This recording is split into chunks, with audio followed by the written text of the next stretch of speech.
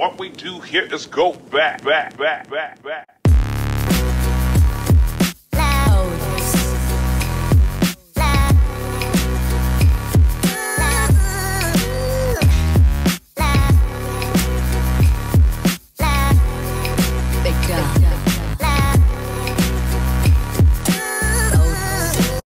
What's up everybody and welcome back to the channel. It's your boy Mello. Now the rap game has had its fair share of white male rappers. Eminem, Macklemore, G-Eazy, and Jack Harlow just to name a few. With the exception of Eminem, it seems as if some of these rappers' careers went just as quickly as they came. So, what happened? Let's start with a little background information on Macklemore. Formerly Professor Macklemore, Macklemore is an American rapper, singer, and songwriter. A native of Seattle, Washington, he started his career in 2000 as an independent artist and released three works, Open Your Eyes, The Language of My World, and The Unplanned Mixtape. He rose to international success when he collaborated with producer Ryan Lewis as the duo Macklemore and Ryan Lewis. Macklemore's and Lewis's singles Thrift Shop featuring Wanz reached number one on the US Billboard Hot 100 in 2013. It says the single was dubbed by Billboard as the first song since 1994 to top the Hot 100 chart without the support of a major record label. Their debut studio album, The Heist, was released on October 9, 2012, and charted at number two on the US Billboard 200. It goes on to say the duo won four Grammy Awards at the 2014 ceremony, including Best New Artist,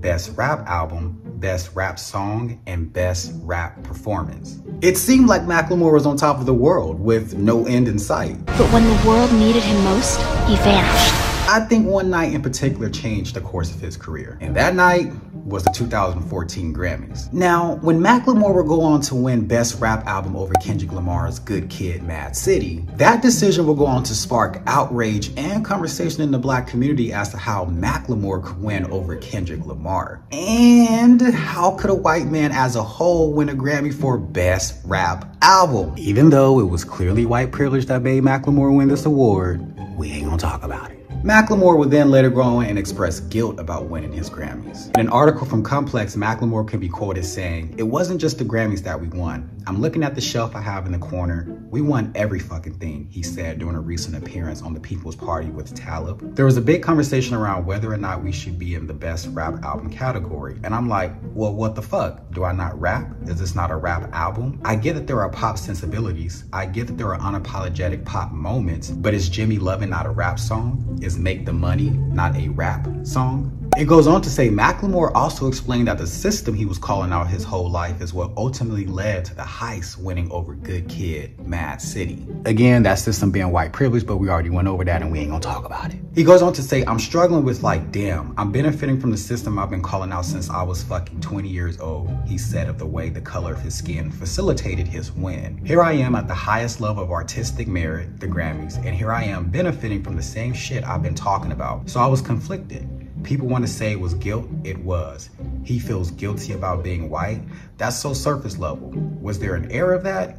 Absolutely. Was that the reason? Absolutely not at the forefront. Now here's where things take an interesting turn for Macklemore. That night Macklemore won his Grammys, he would end up sending a text to Kendrick Lamar. Macklemore said, you got robbed. I wanted you to win. You should have. It's weird and sucks that I robbed you. I was going to say that during the speech, then the music started playing during the speech and I froze. Anyway, you know what it is. Congrats on this year and your music. Appreciate you as an artist and as a friend. After that, Macklemore's career would unfortunately see a decline in support. But the world would eventually move on to another white male rapper. And this time, his name was G-Eazy. Now, G-Eazy would go on to release four studio albums. These Things Happen, When It's Dark Out, The Beautiful and Damned, and his fourth, These Things Happen Too. During his run, G-Eazy was able to produce many smash hits. Me, Myself, and I and No Limit being just two of those hits. For a while, it seemed like G-Eazy was here to stay, but history does have a tendency to repeat itself. Here's what G-Eazy had to say in an interview with Billboard. You've been away for a little while. You had the deluxe album that came last year, and yeah. now you're back. What's been up? What have you been up to these last yeah, years, I guess? It's uh, not only was it a tumultuous time for a lot of us, everybody pretty much, you know, you know, I went through some personal things with losing my mom, and also there was just a bit of a, you know, an overall burnout I think I was going through. I'd, I'd been going and going and going nonstop for over a decade oh straight. God, I mean, yeah. I, but we started aggressively trying to like you know, tour independently, release music independently. Like it's a grind, you know, to finally getting it going. And then once you, once the iron, you know, strike, once, once the iron's hot, whatever the expression, like, yeah. you know, we struck and just kept striking, striking, striking, and just that level of, of grind and just like twisting a wet towel so every drop, yeah, it catches yeah. up to you. And I just felt creatively burnt out, a bit uninspired. I just needed that step back. Once that spark hit, it was like, oh yeah, it's over.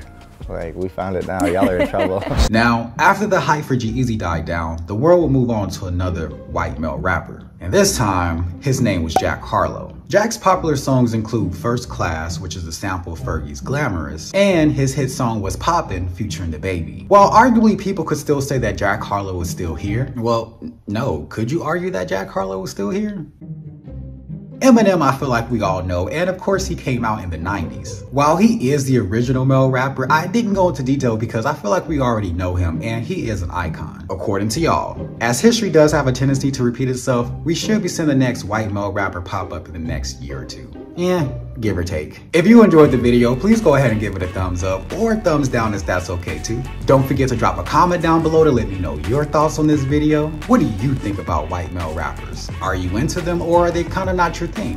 And as always, if you're not already, please make sure to go ahead and subscribe to the channel and make sure to hit that post notification bell so you don't miss out on any videos. I hope everyone has a great rest of their day and I'll catch you all on the next one. It's kind of funny how this channel is called Black Man Thoughts, but I just spent the last video talking about white men.